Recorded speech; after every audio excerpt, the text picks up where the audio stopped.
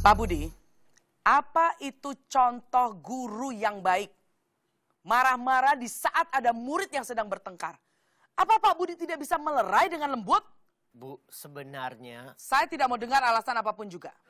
Kan tadi saya udah bilang, berikan contoh yang baik kepada murid-murid. saya mohon ibu dengarkan saya dulu, Bu.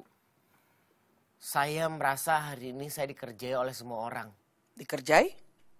Ya, saya dikerjai oleh murid-murid saya, Bu Kantini, Sueb. Saya ini kesal juga dengan sikapnya Pak Budi. Ibu tidak mengerjai saya kan? Apa maksudnya Pak Budi? Apa wajah saya terlihat lagi ngerjain Pak Budi? Saya ini marah beneran. Kalau Pak Budi pikir saya ini ngerjain Pak Budi, hmm, kerjakan berkas-berkas ini. Sekarang Semuanya, Bu. semuanya. Out.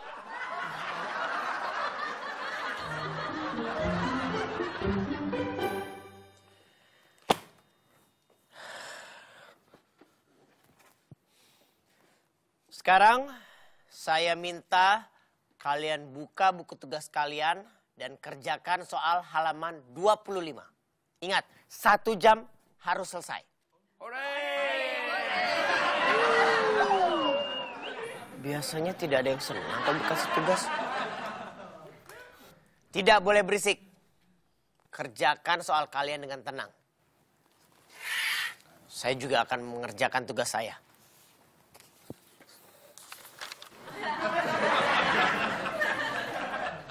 Sudah selesai.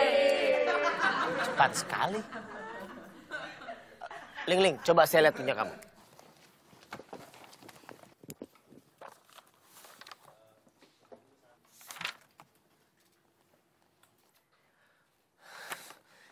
Apa-apaan ini? Kenapa ini salah semua Ling Ling? अरे Pak आप इतना गुस्सा मत करिए आपका आसमा फिर बढ़ जाएगा Palak, sudah berapa kali saya bilang sama kamu, jangan menggunakan bahasa India, tapi menggunakan bahasa Indonesia. Lausua, kenapa malah sama Mrs. Palak seperti itu? Ling Ling, saya ditegur oleh Ibu Rika karena Mrs. Palak tidak berbahasa Indonesia. Tapi bilangnya jangan pakai marah-marah. Siapa yang marah-marah, Angelina? Saya tidak marah-marah. Ya, contoh soalnya Pak Budi. Nggak boleh begitu ya. Ya, pistol. Aduh. Pak Budi. Diam! Kalian membuat darah saya naik hari ini. Darahnya naik? Naik kemana Pak Budi? पाबूडी आप शांत हो जाइए इतना गुस्सा मत करिए Mrs. Palak, bahasa Indonesia!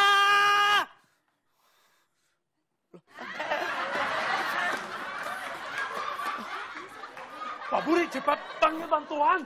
Eh, Mrs. Pala pingsan. Aduh. Aduh, Pak Budi. Aduh. Pala.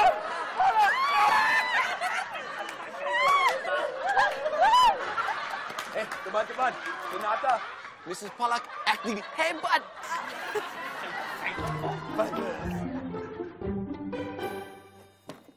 Bu, Bu Rika, tolong Bu, Mrs. Palak pingsan.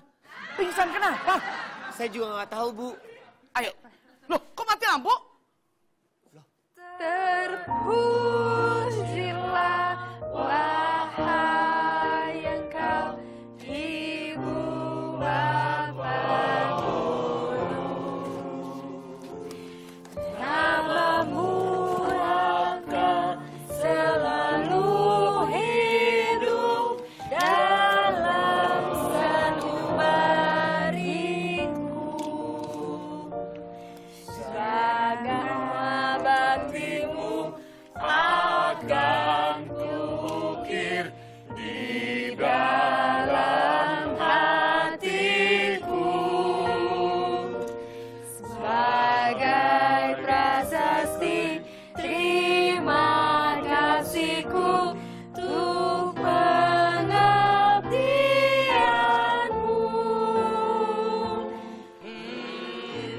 Pak Budi maafkan kami kita sengaja membuat Pak Budi merasa kesal hari ini itu semua um, ungkapan rasa sayang kami ke Pak Budi yang mengajar kami dengan sabar.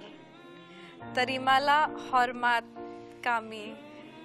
Terima kasih untuk mengajari kami dengan sepenuh hati.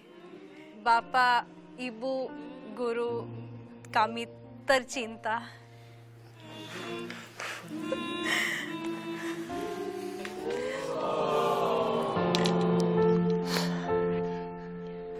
Terima kasih.